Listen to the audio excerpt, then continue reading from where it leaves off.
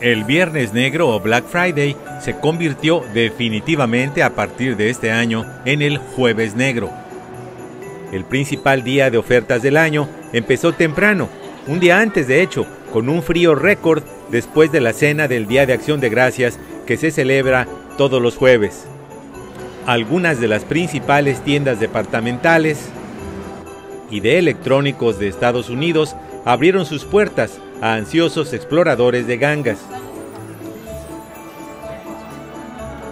Sin embargo, al menos en el área metropolitana de Washington, muchos compradores parecieron quedar desanimados por las temperaturas gélidas, las más bajas desde 1901. El estacionamiento de Montgomery Mall, uno de los más populares en Maryland, no mostraba el tráfico de años anteriores.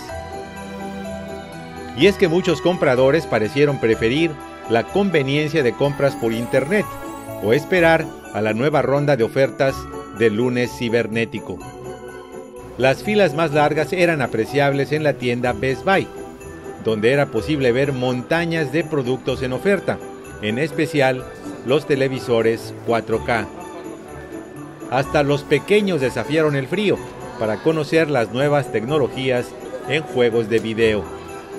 Otros se aglomeraron alrededor de la sección de productos de Apple, aunque las ofertas no parecían muy generosas. En los centros comerciales el flujo de compradores era constante, pero nada comparable con viernes negros anteriores.